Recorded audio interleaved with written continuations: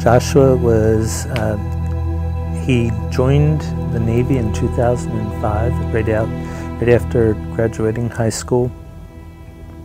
Uh, and he was one of the first to volunteer to become a uh, Riverine. He quickly became Petty Officer Second Class, uh, and he, uh, after joining the Navy, uh, he had set some goals for himself and he wanted to make a career of the Navy.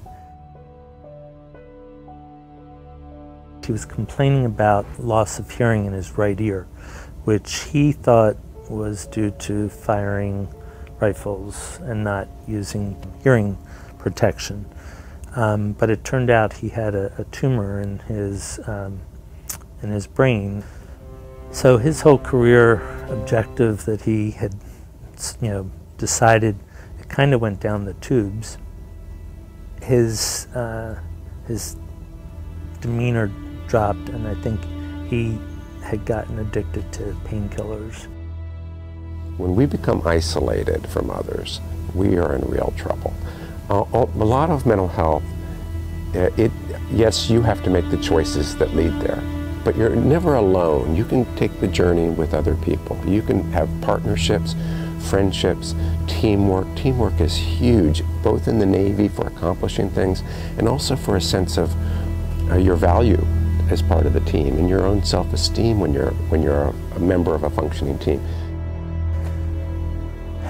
And then March 15th, I got a call from his wife, and she was in Texas. She said she just hung up the phone with Josh, and he didn't sound very good.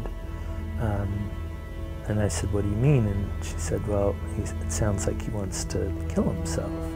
And I got on the phone and called him. So one of the things we can do to notice when other people aren't doing particularly well is we can notice when they start getting isolated and um, we can reach out a little bit.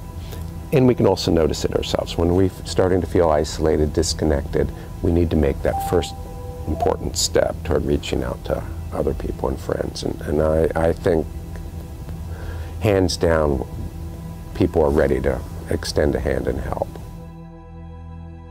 When he, uh, he did answer after several rings, and I thought, oh great, you know, everything's going to be all right.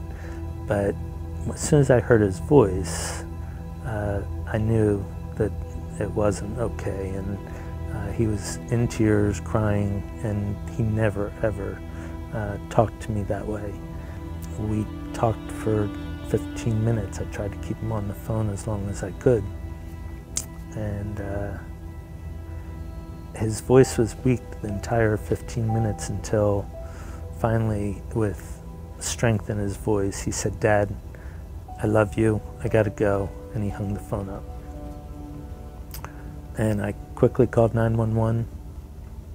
And then I tried calling him back uh, after I was on, after I gave them the information, and uh, he didn't answer. So, and it was about an hour later, his best friend called me in tears, and and I had already known, like I knew, I just could tell that he was serious and he was going to take his life, and. Um,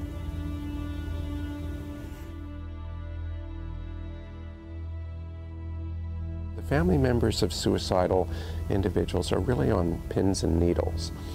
And one of the great things we can do for one another is come forward and say, I want to make a promise to you. I want to make a solemn promise.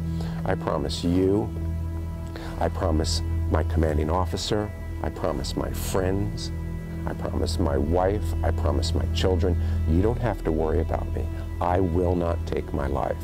I will work on my life. I make a commitment to living life. If you need help, I'll be happy to, absolutely happy to help you. And if I need help, I make a commitment to tell you, hey, I need some help, because we're not alone.